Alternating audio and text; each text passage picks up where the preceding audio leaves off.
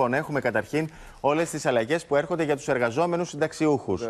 Πάμε να δούμε τι αλλάζει. Μεγάλο θέμα. Σταματάει ο παραλογισμός, γιατί παραλογισμός ήταν να παίρνει κομμάτι της σύνταξης από αυτόν ο οποίος συνεχίζει να εργάζεται. Γιατί η σύνταξη ήταν χρήματα που καθ' όλη τη διάρκεια του εργασιακού βίου τα είχε ο εργαζόμενος. Που έχει πληρώσει ο εργαζόμενος. Ακριβώς. Ήταν δικά του χρήματα. Δεν είναι σαν τα έχει στην τράπεζα και να του παρακρατά ένα ποσό, ήταν παραλογισμός. Σταματάει αυτός ο παραλογισμός πλέον το 30%.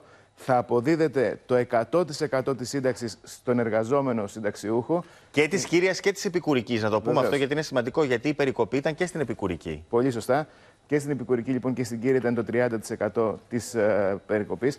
Αν και κανονικά στην επικουρική δεν θα έπρεπε να υπάρχει παρακράτηση 30%, γιατί οι περισσότεροι ελεύθεροι επαγγελματίες δεν είναι υπόχρεοι στην εργασία τους πλέον ως συνταξιούχοι να έχουν επικουρική ασφάλιση. Οπότε το 30% δεν θα έπρεπε καν να παρακρατείτε. Αλλά τουλάχιστον τελειώνει, οπότε μένουμε εδώ. Παρακράτηση per εύκα στα εισοδήματα. Δεν θα είναι φόρος αυτό το οποίο θα υπάρχει στα εισοδήματα, το οποίο θα παίρνει ο συνταξιούχος με την εργασία του. Θα είναι μία παρακράτηση και θα αποδίδεται στον εύκα από τη νέα εργασία. Πιθανός συντελεστής το 15%. Έτσι, το 15% ε, και εγώ αυτή την πληροφορία έχω ότι κοντά στο 15% θα είναι κάτι σαν μια νέα εισφορά. Ακριβώς. Δηλαδή, ο εργαζόμενος πληρώνει, ο, ο, ο συνταξιούχος και ως εργαζόμενος θα πληρώνει την εισφορά που πληρώνει ο μισθωτός, την κανονική εισφορά, και πάνω σε αυτήν θα κολλάει μια μη ανταποδοτική νέα εισφορά. Μη ανταποδοτική, σωστά. Η οποία θα είναι κοντά στο 15%. Κοντά στο 15% λοιπόν. Για το μισθωτό. Yeah. Με, το, με τη φορολόγηση. Δηλαδή, θα φορολογείται για τη σύνταξη θα φορολογείται, φαντάζομαι, για το εισόδημα. Ε, το, το δεύτερο που θα παίρνει. Σωστά; Βεβαίως, Αλλά θα γίνεται και η παρακράτηση αυτή η εισφορά υπέρ του ΕΦΚΑ. Υπέρ του ΕΦΚΑ και θα γίνεται, όπως πολύ σωστά είπατε και προηγουμένως, σε δύο διαδικασίες. Δηλαδή, αυτός ο οποίος είναι μισθωτός θα είναι πάνω στο μισθό το οποίο θα παίρνει και θα το παρακατάει ο εργοδότης για να το αποδίδει στον ΕΦΚΑ. Αυτός που είναι ελεύθερος επαγγελματίας θα υπάρχει κατά πάσα πιθανότητα μία προσάυξηση 50% στη μηνιαία ασφαλιστική οφειλή, την οποία έχει το ασφάλιστρό του δηλαδή στην ουσία. Και αυτό γίνεται για ποιο λόγο; Γιατί αν σε περίπτωση η απόδοση θα ήταν με την εκαθάριση της φορολογικής δήλωσης, καταλαβαίνουμε όταν θα υπάρχει εφαρμογή του μέτρου από 1η Πρώτου του 2024, θα περιμένει ο ΕΦΚΑ να πάρει χρήματα μετά από 18 μήνες. Οπότε έχει τα προβλήματα που θα έχει. Υπήρχε μια τρύπα εκεί. Ακριβώς. Μια δημοσιονομική τρύπα. Λίγο την προηγούμενη κάρτα να κρατήσουμε, αν έχετε την καλοσύνη. Άρα έχουμε ένα διπλό σύστημα, γιατί αυτό είναι σημαντικό. Αλλιώς τους μισθωτούς. Τους μισθωτούς λοιπόν θα παρακρατά εδώ αυτή την κάρτα. Θα υπάρχει μηνιαία παρακράτηση λοιπόν στο μισθό θα την κρατάει ο εργοδότης. Δεν θα κάνει τίποτα ο μισθωτός. Αλλά αν είναι ελεύθερος επαγγελματίας ο συνταξιούχος, θα πρέπει να πληρώνει λίγο πιο ακριβά τη μηνιαία ασφαλιστική τη μηνιαία ε, εισφορά του στον ΕΦΚΑ. Δηλαδή, πλήρωνε, ξέρω εγώ, 100 ευρώ, θα πρέπει να πληρώνει 150 τώρα. Ανάλογα με ποια κλάση είναι, γιατί υπάρχουν πέντε κλάσεις, ανάλογα με ποια κλάση είναι, ποια έχει επιλέξει. Αυτό το 50% λοιπόν θα προσευκάνει το μηνιαίο το οποίο α, δίνει. Θα υπάρχουν Αυτό... και κόφτες όμως. Πολύ σημαντικό. Ευτυχώς που θα υπάρχουν κόφτες. Οι κόφτε θα είναι το δεκαπλάσιο της Εθνικής Σύνταξης 413, να θυμίσω, είναι η Εθνική Σύνταξη. 4956 είναι το πρώτο σκαλοπάτι, δηλαδή δεν μπορεί κάποιος να δώσει παραπάνω χρήματα από αυτά.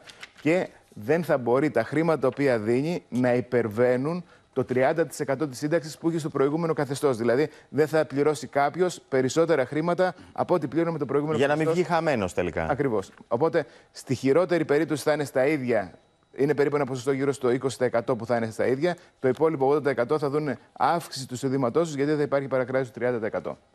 Πάμε τώρα να δούμε τι θα γίνεται με τους, συνταξι... με τους οφειλέτες του ΕΦΚΑ, δηλαδή που χρωστάνε ένα μεγάλο σημαντικό ποσό πάνω από 20.000 ευρώ και θέλουν να πάρουν σύνταξη, αλλά δεν μπορούν να πάρουν σύνταξη γιατί δεν μπορούν να πληρώσουν εφάπαξ το παραπάνω ποσό από τις 20.000. Και εκεί θα δούμε μια ρύθμιση, έτσι. Βεβαίως. Ευνοϊκή ρύθμιση, γιατί ο νομοθέτης προβλέπει ότι όποιος οφείλει πάνω από 20.000 ευρώ ως ελεύθερος επαγγελματίας ή πάνω από 6.000 ευρώ ως αγρότης, δεν μπορεί να πάρει σύνταξη αν δεν καταβάλει την υπερβάλλουσα πέρα από τα όρια τα οποία είπαμε. Αυτό πλέον φαίνεται ότι πάει στις 30.000 ευρώ για τους ελεύθερους επαγγελματίες και στις 8.000 ευρώ για τους αγρότες, με μία διαφοροποίηση όμως. Δεν θα είναι για όλους. Θα είναι για αυτούς οι οποίοι θα δώσουν το δικαίωμα στον ΕΦΚΑ να ανοίξει τραπεζικούς λογαριασμούς, να ψάξει την περιουσία τους. Θα υπάρχει δηλαδή ένας διαχωρισμός των κακοπληρωτών από αυτούς οι οποίοι δεν τραπεζικό έχουν απόρριτο. Ακριβώς. Άρση τραπεζικού απορρίτου. Για να δούμε πώς θα πατήσουν το κουμπί. Εκεί θα έχει ενδιαφέρον, ε. θα έχει ενδιαφέρον, σωστά. Γιατί αν κάποιος δεν έχει, λογικό είναι να υπάρχει αυτή η βοήθεια. Όταν φτάσουμε στο σημείο λοιπόν κάποιος να μπει σε αυτή τη διαδικασία, να γνωρίζει ότι από τις 20.000 έως τις 30 ή από τις 6 8 αντίστοιχα για τους αγρότες, Αυτά τα χρήματα θα δοθούν στον ΕΦΚΑ με τη σύνταξη την οποία θα πάρει κάθε μήνα. Θα είναι λογιστική σύνταξη. Δεν την παίρνεις στο εξήγο στα χέρια. Θα του κρατάει το 100%. Ακριβώς. Mm. Θα του κρατάει το 100% τους ώστε να πηγαίνουν και να ε, απαλληφθούν τα χρήματα πάνω από τις 20.000. Και όταν φτάσουμε στο όριο, τότε πλέον θα υπάρχουν 60 μηνιαίες δόσεις για να μπορέσει να καλυφθεί αυτό. Και αν κάποιος πει δεν θα παίρνει σύνταξη, παραδείγματος χάρη για τα 10 χιλιάρικα, να θυμίσουμε ότι περίπου αν μια σύνταξη είναι γύρω στα 800 ευρώ ένας χρόνος είναι, ενώ εδώ δεν θα παίρνει ποτέ σύνταξη με το ίδιο καθεστώς. Εδώ λοιπόν σε ένα χρόνο δεν θα παίρνει σύνταξή του και θα μειώνεται και το ποσό. Πάμε να δούμε και τα υπόλοιπα μέτρα γρήγορα. Βεβαίως. Έχουμε το αφορολόγητο. Μισθωτοί, συνταξιούχοι και αγρότες, το καινούριο αφορολόγητο κατά 1000 ευρώ για κάθε παιδί. Το επιπλέον κέρδος το οποίο θα υπάρχει πλέον είναι από 90 ευρώ έως 220 και αυτό είναι για ποιο λόγο, γιατί η πρώτη φορολογική κλίμακα είναι στο 9%, άρα 90 κέρδος. Η δεύτερη είναι στο 220, στο, συγγνώμη, στα 22.000, άρα με 22%, ε, άρα 220 το κέρδος το οποίο θα έχουν. Προσεχθένται κατά 1.000 ευρώ λοιπόν για κάθε Ωραία, αυτό το είπαμε. Πάμε στην επόμενη κάρτα. Και ετήσιο κέρδος αυτό που είπαμε από 90 έως 220 ευρώ. Και έχουμε και τη νέα αύξηση των συντάξεων. Πολύ σωστά. 3,4 έως 4%.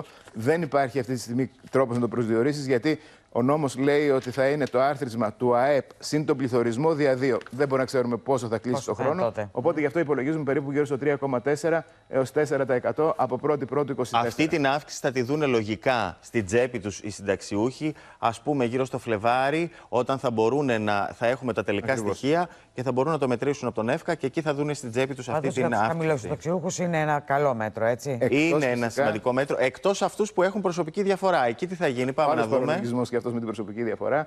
Αυτοί που έχουν το κουτάκι επάνω που λέγεται προσωπική διαφορά, θα μειωθεί το κουτάκι αυτό και δεν θα δουν την αύξηση. Αλλά τέλος του χρόνου υπολογίζεται ένα ποσό 250 με 300 ευρώ. Έχει πει η κυβέρνηση ότι θα τους στηρίξει ως ότους σβήσει αυτή η προσωπική Ακριβώς. διαφορά, Ακριβώς. κύριε Κατσαλάτα. Ήταν και μια, α, μια δέσμευση του Πρωθυπουργού προεκλογική αυτή ότι θα δίνεται αυτό το ποσό 200-300 ευρώ μία φορά το χρόνο. Πολύ σωστά. Τα 250 με 300 ευρώ είναι περίπου η αύξηση τη σύνταξη των 800 ευρώ. Οπότε, εφόσον θα δίνεται, για ποιο λόγο να μην φύγει αυτή η προσωπική διαφορά και για θέμα ψυχολογικό και να σταματήσει να υπάρχει μια ισορροπία. Είναι, είναι, είναι, είναι μεγάλη συζήτηση αυτή. Δεν γίνεται. Θα αλλάξει όλο το ασφαλιστικό, οι αναλογιστικές μελέτες, άμα φύγει η προσωπική διαφορά. Πάμε όμως, εκεί θα έχουμε λοιπόν το επίδομα που θα το δούμε πριν τα Χριστούγεννα. Σωστά. Πριν τα Χριστούγεννα θα το δούμε το επίδομα αυτό να δίνεται σε όλους όσοι έχουν προσωπική διαφορά. Και τελευταίο μέτρο. Εδώ πλέον αυτό που γίνονται τα δύο τελευταία χρόνια, δηλαδή οι συνταξιούχοι που έπαιρναν το ΕΚΑΣ, οι καμιλοσυνταξιούχοι, να μην πληρώνουν ιατροφαρμακευτική περίθαλψη και κάθε χρόνο νομοθετείται. Πλέον εδώ με απόφαση και νόμο του κράτους δεν θα χρειάζεται κάθε χρόνο να γίνεται αυτό. Άπαξ διαπαντός υπάρχει νόμος του κράτους. Αυτοί που έπαιρναν κάποτε ΕΚΑΣ και τους έχει κοπεί δεν θα πληρώνουν χρήματα Μάλιστα. για ιατροφαρμακευτική Ωραία.